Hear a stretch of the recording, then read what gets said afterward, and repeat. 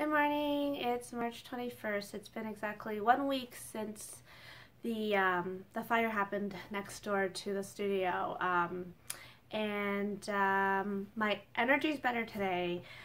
Uh, I promised myself on on Monday that Monday would actually be the last day I felt sorry for myself, and moving forward, I just gotta buckle down and figure out the next steps for this studio. So um, I'm not gonna I'm not gonna talk for a year today because I tend to do that. But I wanted just to say thank you again, everybody, for, you know, reaching out and offering their help. I mean, I have like my dance family who offered, you know, so much support and, and, you know, just trying to come up with with possibilities for the studio as well as um, you know like clients that I'm actually not even that close to from Avon that reached out to me and said hey Jess if you need me to come and and just help you sort your orders, just let me know. I don't work during the day, so I'm, I'm free. So thank you guys. Thank you so much. I, I'm so grateful for you to have you guys in my life. And those are the bar, uh, bleh, the boys barking.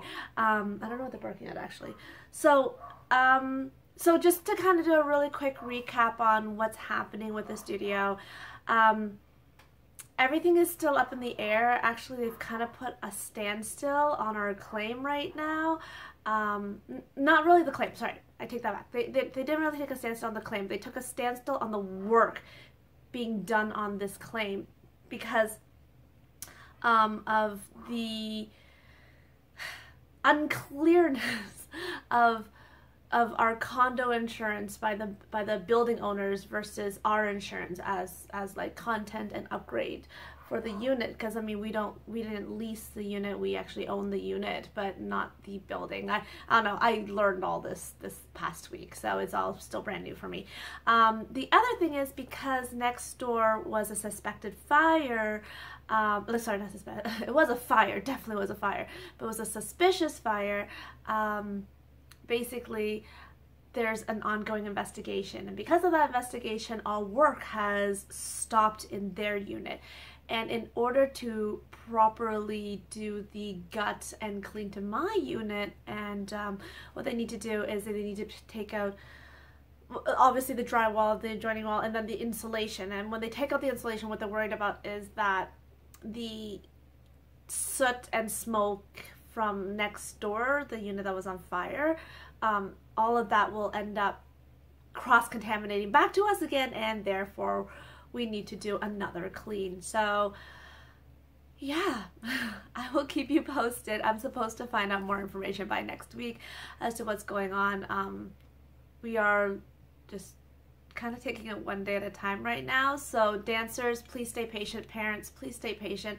I'm giving you information as I get it confirmed from all the parties involved right now. It's just, it's, it's, it's frustrating and I know everyone is sad and frustrated. Like we are absolutely still devastated. It's just I can't I can't sulk anymore. I mean, I'm I need to be productive. I need to I need to plan out the future and I I need to get my chin up for my baby, right? I got a, I got like Ginevra, Ginevra husband, like, mommy, what's wrong? Mommy, what's wrong? Because she knows that I'm just, I haven't been me lately. So I need to get my act together and move forward. So with that being said, I am going back for my, my YouTube um, watchers, I'm going back to somewhat of a regular schedule. I'm going to continue vlogging this journey because I do want to keep everyone informed and honestly this is also very therapeutic for me.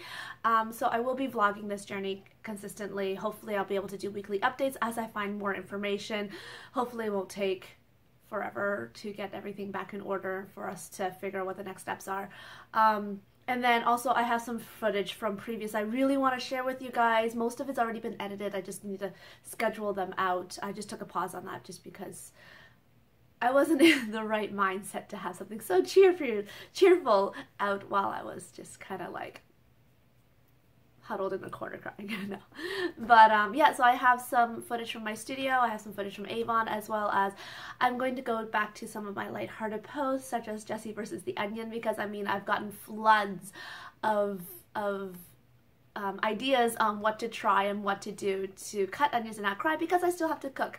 Um, and I'm experimenting with more recipes now because cooking is also very therapeutic for me to kind of take my mind off of things. Okay, I am making this ridiculously long again. I tend to talk for a year. Nelson says that my vlogs are like blah, blah, blah, blah, blah, blah, blah, which is true. So anyways, once again, I love you guys. Thank you so much for all of your support, your love, your, like, just virtually holding my hand through this and all the all the virtual love and I know it, it actually is it's there. I know you guys. So thank you. I love you guys.